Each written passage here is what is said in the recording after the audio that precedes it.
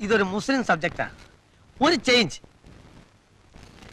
കല്ലായിലെ മരവ്യാപാരിയായ അവറാൻ ഹാജി. ഹാജിയാർക്ക് മൂന്ന് ഭാര്യമാർ. മൂന്ന് ഭാര്യമാർ അതെ ഈ മൂന്ന് ഭാര്യമാരിലായി നാല് ആൺമക്കൾ. ആദ്യ ഭാര്യയിൽ ഇരട്ടവറ്റ രണ്ട് ആൺമക്കൾ ഹസൻ റഷീദ്. രണ്ടാമത്തേതിൽ ഹനീഫ്. മൂന്നാമത്തേതിൽ അസീസ്. അവറാൻ ഹാജിക്ക് വയസ്സായി. തന്റെ ബിസിനസ് കാര്യങ്ങൾ ആദ്യ ഭാര്യയിലെ മൂത്ത മകനായ ഹസനെ ഏൽപ്പിക്കാൻ തീരുമാനിക്കുന്നു. ഹസൻ കൂപ്പിലേക്ക് പോകാൻ തയ്യാറാവുമ്പോൾ രണ്ടാമത്തെ ഭാര്യ സുഹറാബി വരുന്നു പ്രശ്നമുണ്ടാവുന്നു. എന്ത് പ്രശ്നം? പറയാം പറയാം. അതാണ് കഥയുടെ മെയിൻ ത്രെഡ് പണ്ട് ഹാജിയാരും രണ്ടാമത്തെ ഭാര്യയും കൂപ്പിൽ നിന്നും ജീപ്പിലേറി താമരശ്ശേരി ചുരമിറങ്ങി നാട്ടിലേക്ക് വരികയായിരുന്നു. ആ സമയത്ത് ജീപ്പിന്റെ ടയറിൽ ഒരു മുള്ളുകൊണ്ട് സൈഡിൽ ഒരു ദ്വാരം വന്നു. വണ്ടി ഒന്ന് പാളി.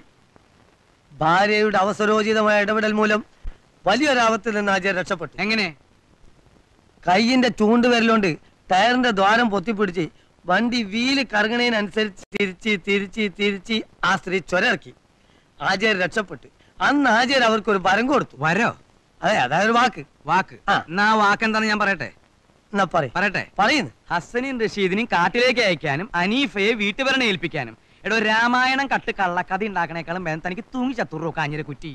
പിന്നെ ഞാൻ കുറെ നാൾ ഓടോ ഓടോ പോ, പോ, പോ.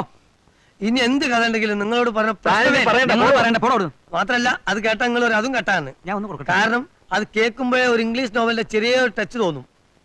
വേറൊന്നല്ല വെറും മുന്നൂറ് റുപ്യക്കും വേണ്ടി തമ്മിൽ തമ്മിൽ ഒറ്റിക്കൊടുത്ത് ഒരു ക്രിസ്ത്യൻ വിപ്ലവകാരനെ കുരിശിലേറ്റ് കൊന്ന കഥ. കർത്താവേ.